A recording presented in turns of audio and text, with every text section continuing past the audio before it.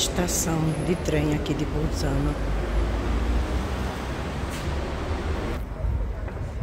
Ali atrás a cadeia de montanhas Dolomitas, Itália.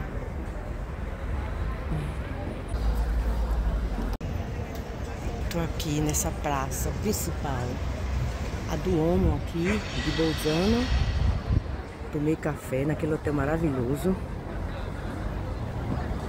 diária só para um dia, porque é um hotel um custo mais elevado, mas depois de um dia tão cansativo, foi a melhor coisa que eu fiz. Fui ficar nesse hotel, que eu ia ficar no hotel mais distante.